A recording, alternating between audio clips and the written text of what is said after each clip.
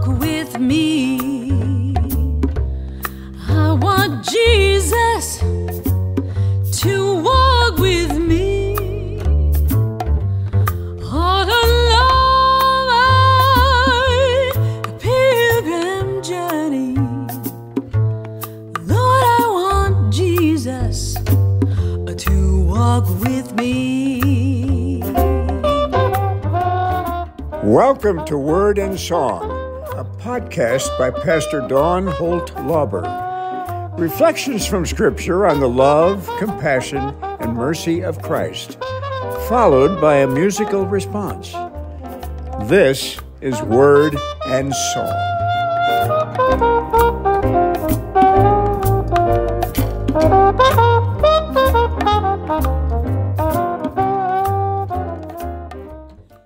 Hello, I'm Pastor Dawn.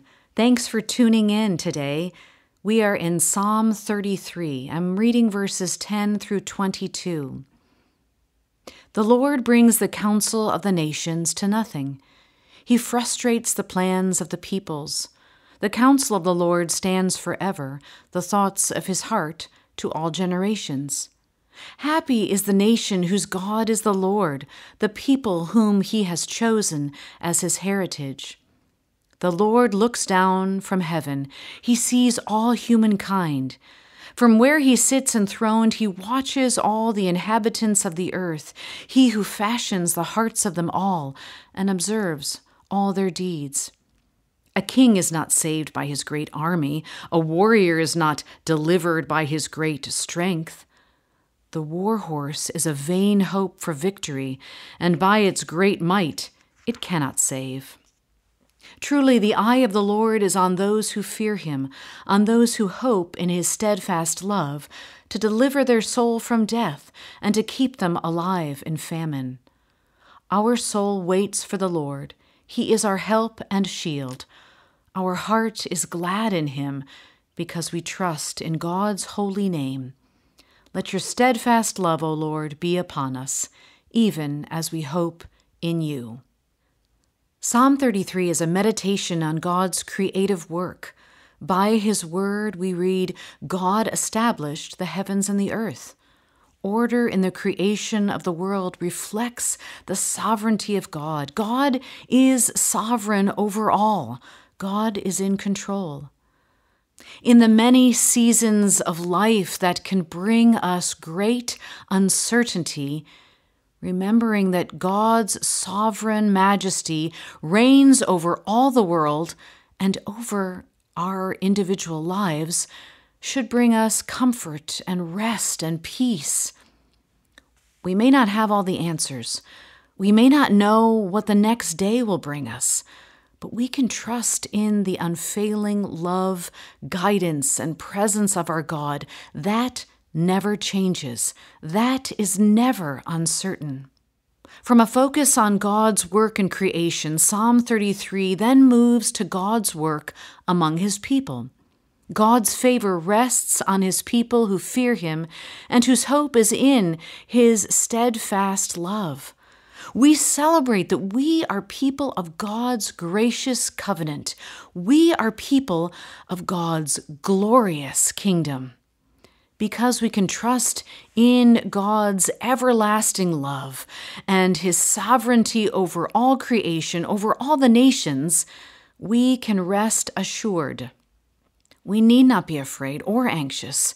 Rather, we can exhibit what is called fear in the Lord. Fear in the Lord is an expression of dependency and trust and obedience, waiting for God's guidance and direction. To have fear in the Lord is not to be afraid of God or to run away from God, but to run towards God and to depend deeply on God. To fear the Lord is to obey and trust the Lord. No matter what our circumstances, no matter in what age we live, each generation bears witness to God's acts of love and mercy.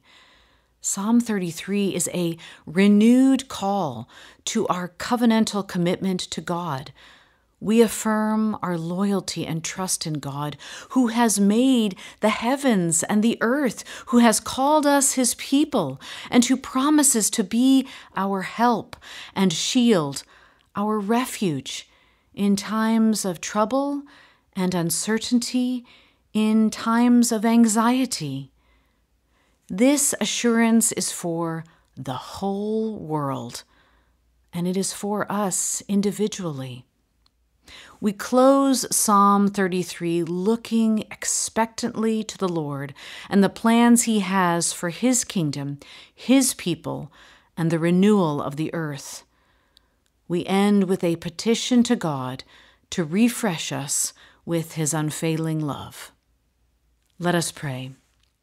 Almighty God, we praise your holy name. We praise you for the steadfast love that you have lavished on us. Let us sing your praises all the days of our lives. We look to you for our salvation. We look to you in hope, for you alone are holy. You alone are trustworthy. You alone are worthy. In Jesus' name we pray. Amen. As the deer longs for running streams,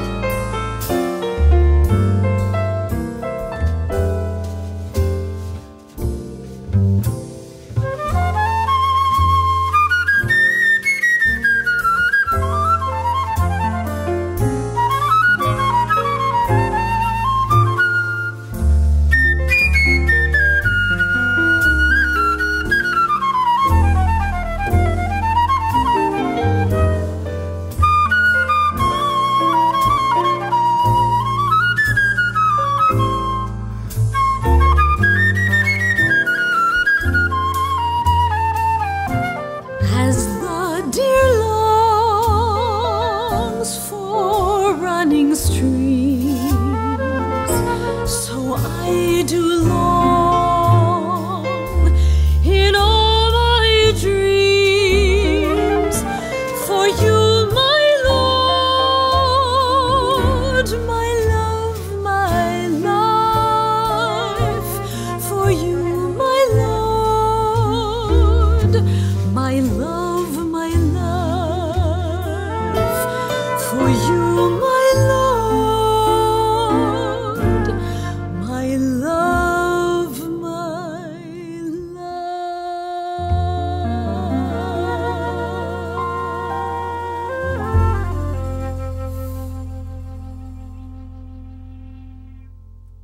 Thanks for joining me at Word and Song.